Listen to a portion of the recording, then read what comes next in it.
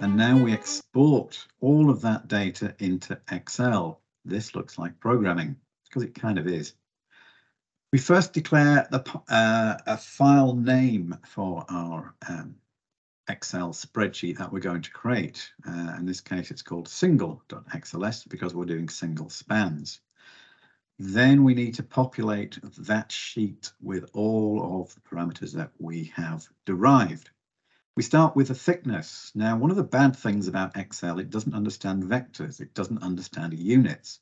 So we take our thickness, dp, the depth of the panel, and divide it by meters to give us the raw number, 50, 75, 100, 150. So that's the raw number we're going to put in the Excel sheet. Similarly with spans, we've got to divide it by meters to turn it in just a raw numbers. We give the thing a title, so this is for bending. So that title will go at the top of the uh, load span table. Then we start exporting. So we use the write Excel function that you can get, and that comes under input output under Excel components. and there are write uh, Excel functions which require a file path, which we've already described, the information you're putting in it, in this case the title, and where you're putting it, in this case the first sheet, and in the first cell, A1. And on we go. We put the thicknesses in A2, the spans in B2, and um, the actual spans, the numbers, into B3, and then the thicknesses into A4. We populate the data. Again, we strip out the units. So we're looking at the bending, which is WM. We divide it by kilopascals to get out the raw data. And then we do basic programming.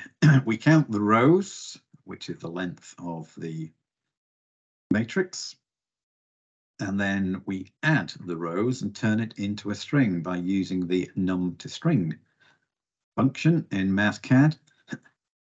And then we define what we call B cell by adding the initial B cell to the number of rows. So we take B and put it as B4 and we export that data. So export 6 is writing to Excel to that file path with that data. Data 1 is all of this, and it puts it in that cell, which is marked as B4. Okay, and then we do the same again for shear, deflection, fixings, and download, upward load, and so on. So that will be a simple spreadsheet full of all these numbers. Okay, so that's exporting Excel. What about getting back again? Well, I've just punched it out and it's going to pull it, pull it back in again. So I can read Excel uh, in this case. And so it will populate.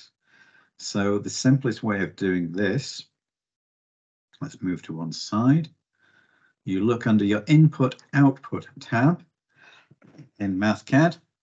You insert an Excel component. Let's make it a bit bigger.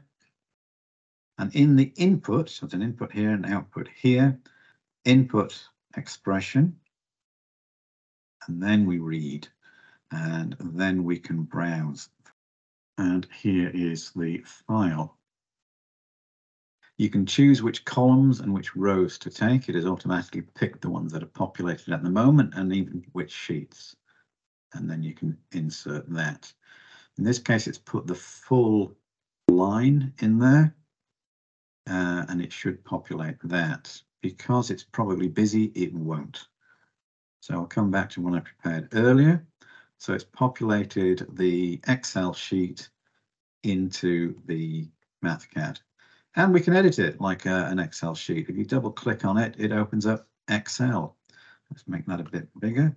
And you can format it like an Excel. So you see that one, you want it to be formatted like so. Then you can update your Excel and it should update it in here. You can also resize the column so it fits onto your page.